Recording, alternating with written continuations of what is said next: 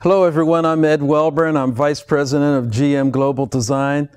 I'm here in the mechanical assembly area of the Design Center, where we put the final touches on new concepts. Today, we're talking about the new Stingray concept.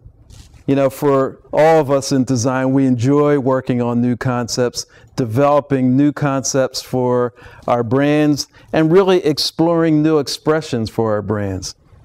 You know, the Corvette designers were very much inspired by the great Stingrays, the 59 Stingray Racer, which we've got right here in the garage, and the 63 Corvette Stingray split window coupe. You know, it will start at the front of the car with a real piercing nose, both in plan view and in profile.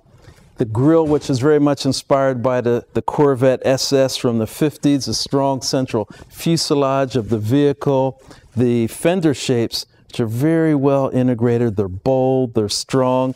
They are obviously Stingray when you look at the shape of the fenders, both front and rear.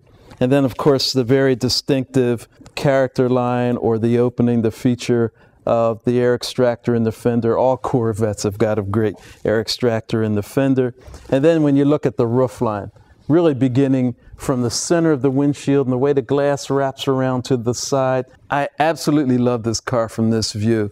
The strong central fuselage of the design, you know, and it just accentuates in every way. The fuselage, the roof line has this great taper. I mean, that's really Stingray.